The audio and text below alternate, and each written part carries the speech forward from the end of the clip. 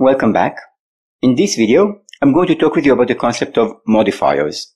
Now, do you remember in the previous lesson, I've created a contract which allowed student to be registered into a school, into a course maybe that you are providing. And within this module, I've declared few variables, and one of those variables was a fee variable.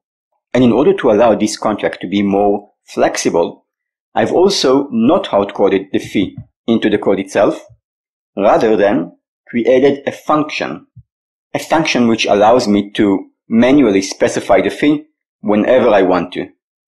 And one of the main concerns whenever I have such a function is that anyone who has access to this contract might see that there is also this function, this set registration fee function, and he will try to manually change the fee that we requires.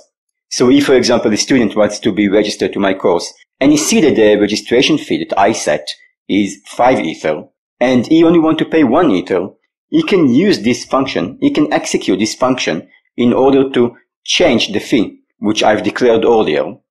So I want to put some sort of a precondition before the user can even try to execute this function.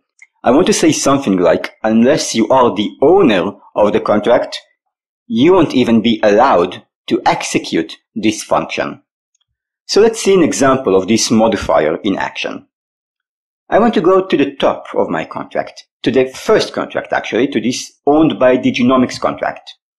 In this contract, I have declared who the owner is. This contract, whenever it is executed, whenever this contract is called, will automatically assign this owner public address variable with the address of the one who deployed the contract. The one who deployed this contract is probably the owner of this Diginomic course. And this owner of this Diginomic course will be also the owner of any other contract which inherit these characters or these variables and functionalities from this owned by Diginomics. If I will deploy this Bitcoin Course September, which is owned by Diginomics, this Bitcoin Course September will also inherit this owner variable over here. And this contract, Bitcoin Course September, this contract will contain this information. So now that I know that this contract has some information about who is the owner of this contract, I can also start to declare something called modifier. A modifier will allow me to specify a condition which must be fulfilled before a function can be even executed. I want to specify this modifier in this owned by Diginomics contract because I want any type of contract which I will deploy to contain this modifier. So let's do it over here. I'm going to declare modifier. The name of this modifier is going to be only Oh, owner, and I'm going to specify the condition to be the following. I will say that if the one who send this transaction message sender is not the owner, then throw. Remember, throw is a built-in function which will not even allow for the function to be executed. The else statement, else, will simply be underscore and it won't be followed by semicolon and that's quite important. No semicolon. Don't place semicolon over here. So let's look again at what this condition means. It will look who is the sender of this transaction, of this message, it will see if it's equal to the owner. If it is not equal, this is the sign for not equal, it will throw away the user. It won't allow him to interact with this contract. It won't allow him to transmit his transaction. Else, else mean that this statement is false and the sender of this message is indeed the owner, then and only then allow for this function to be executed. And we say allow this function to be executed by simply placing one underscored line with no semicolon. So let's see how we can actually use it. All that we need to do is to go to the function which we wish to be used only by the owner. And this function in our case is the set fee function. There we go, set registration fee function. In the set registration fee function, before the curly bracket, but after the arguments, we will type only owner. And this is it. Right now, the only person who will be allowed to execute this registration fee function is only the owner. So let's see it in action. I'm going to copy the code and take it to my Mist wallet. I've copied the code and I'm going to deploy the Bitcoin Course September.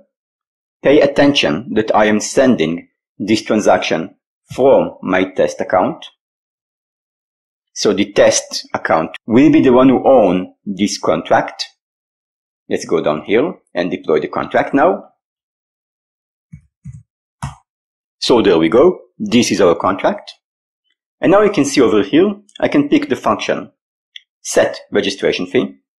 I can insert a registration fee. Let's say I'm going to ask for 2 Ether, which is 2 followed by 18 zeros. 1, 2, 3, 4, 5, 6, 7, 8, 9, 10, 11, 12, 13, 14, 15, 16, 17, 18. And you can see that I can execute this function as if I was the test user, the test account. And if I will press execute, I can just insert my password and execute this function without any problem. But if instead of using my test account, I will choose to use another type of account. Let's say this second account over here, over here. And now if I will try to execute this contract, you will see that I get this error message. Data can't be executed, so it will use all provided gas, and of course, no gas is being provided, and so this action, this interaction with the contract won't even be transmitted to the blockchain. And again, it is exactly the same information that I've inserted as before. This is the fee which I want to insert. Only this time I'm using my second account instead of my test account. The test account is the owner. Using this account will allow me to execute this contract. Using any other account will prevent me from even transmitting this request onto the blockchain. Not only it won't be executed, it won't even be transmitted to the blockchain. Now I want to go back again and have a look at my contract. And let's see what other type of functions we might want to have some sort of a condition before it can be even used. So over here, back at the top, I can see that I have this kill the contract function. And once again, this seems like some sort of a function which I don't want to allow any other student or any other user to interact with. I don't want any student to say, okay, I don't like this course anymore. I'm just going to kill this contract. I want only the owner to be allowed to do so. So once again, I can use this modifier, only owner. But this time, pay attention, I've defined this modifier, only owner, after I've declared this function, kill the contract. So I cannot use this modifier on the owner with a function which was declared before the modifier itself. So the solution is quite simple. I'm just going to change the position of this kill contract function and I will paste it below below this only owner modifier.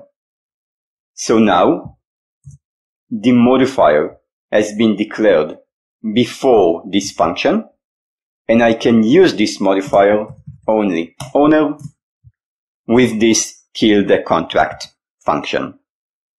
Okay, so so far we've inserted this modifier, only owner, to our contracts. But you know what? Maybe the users will be quite reluctant to be registered to a course in which I can change the fee whenever I want. Maybe they will feel better if I will specify another condition. And this condition will be that I can only change the fee, the registration fee, only after a day or a week or a month, or in our case, only a couple of minutes because we're not really going to wait that long to, to see that in action. So I'm going to insert another modifier and this modifier will prevent me from calling or from executing this set registration fee function, even if I am the owner. I'm going to put some sort of a limitation upon myself, even if I am the owner, so that the users or the students who are going to be enrolled into my uh, Bitcoin course September will feel that they have at least some basic protection. And this limitation will say something like, don't even allow me to execute this function unless a specific time has been set, unless a specific date has been reached. And I'm going to declare this modifier over here in this Bitcoin September course contract because this time limitation might be different for each and every course. There is no reason to declare it as part of the owned by Diginomic contract. In every course, I will change this timestamp to be something completely different. So I'm going to declare this modifier, modifier. I will call it only after, uh, let's say 10, 10 minutes. This modifier will not accept any arguments, but I will insert or I will specify the following condition. I will say that if now, now is a built-in function in Solidity, which will give me the current timestamp. So if now is smaller than the time which I will specify here in few minutes, then throw. Don't allow any interaction with this function. Else, else means that if the time now is greater than the time that I will specify here in a few minutes, then and only then allow me to use this function. So now all that I need to do is to place here a specific date, a specific time, and time in Solidity is specified using the Unix timestamp if you never heard about the Unix timestamp, this is a kind of a standard way in which many programming language and machines uses in order to specify time. It looks something like this. And if you just Google current Unix timestamp, it will immediately give you the current timestamp in this format. This is the current timestamp. And I want to add another 10 minutes to it. So I'm just going to say plus 10 minutes. There we go. Right now I have inserted the current Unix timestamp. I've added set plus 10 minutes. Solidity allows you to specify seconds, minutes, hours, even days in a native language way, in a native language format. All you need to do is just to specify current timestamp plus 10 minutes or plus one hour or plus 50 days and it will automatically find what is the co- what is the proper timestamp for this current timestamp plus 10 minutes and it will check if this new timestamp is bigger or smaller than now and then it will perform the conditions either throw or allow this function to be executed. So let's use our modifier over here only after 10 minutes. And now you can see that I have two modifiers in my function, in my set registration fee function. Let's go over here. Not only it will make sure that I am the owner, it will also only allow me to interact with this contract after 10 minutes have passed, 10 minutes from this current timestamp. And this will give some sort of a assurance to the one who will register to my course that once a fee has been set, it won't be changed every, every day or every couple of hours. It will stay the same. So I'm going to be fair with them. Now let's again see this in action. Let's copy this code, paste it in my Mist wallet. I'm going to deploy this contract, Bitcoin Course September, and let's deploy. There we go. My contract was executed. And now I can go over here, set registration fee. I'm going to set the fee to be 2 Ether again. I'm going to execute it for my test account. So I am the owner of the contract and I should be allowed to execute this contract. But now if I try to execute it, you can see that even though I am the owner, I am still not allowed to do so because I specified another condition. And this condition said that I won't be allowed to execute this function even if I am the owner unless 10 minutes has passed, 10 minutes from the time which I've specified in the code. So now we're going to wait for 10 minutes, or we're just going to pause the video, and we'll see you again in 10 minutes. So here we are again, somewhat more than 10 minutes later, and now when more than 10 minutes have passed, and I'm using this test account, I should be allowed to use this set registration fee, and there we go. No error this time. Now I can actually set the fee, and the student don't have to worry that I will change the registration fee whenever I want. I've put a time limitation. This current time limitation was 10 minutes, but I could have um, also specified something like 30 days or 50 days or even a whole year if I want to. More than that if I want to actually. And this is it. So that was it about modifiers. And in the next video, I'm going to talk with you about proxy contract. How can one contract interact with another contract? So I will see you then.